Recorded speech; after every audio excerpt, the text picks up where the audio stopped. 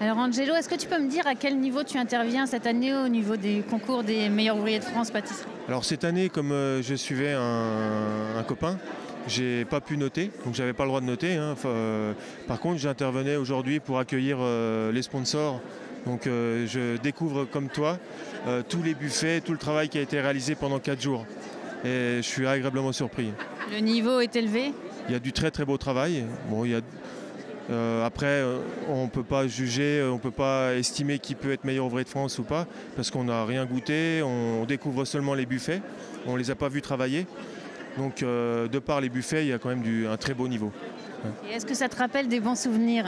Ça me rappelle, j'ai des frissons quand j'en parle, hein, forcément, parce que quand on l'a vécu, ça rappelle plein de souvenirs, les efforts, les souffrances et les joies.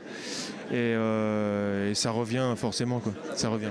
Et qu'est-ce que ça a changé dans ta vie euh, sur le plan professionnel Déjà, personnellement, c'est une très grande satisfaction de pouvoir obtenir le titre. Donc, beaucoup de fierté, beaucoup de, euh, de joie d'avoir, euh, d'être allé au bout de- du travail, des efforts fournis, parce que c'est tellement, tellement de travail.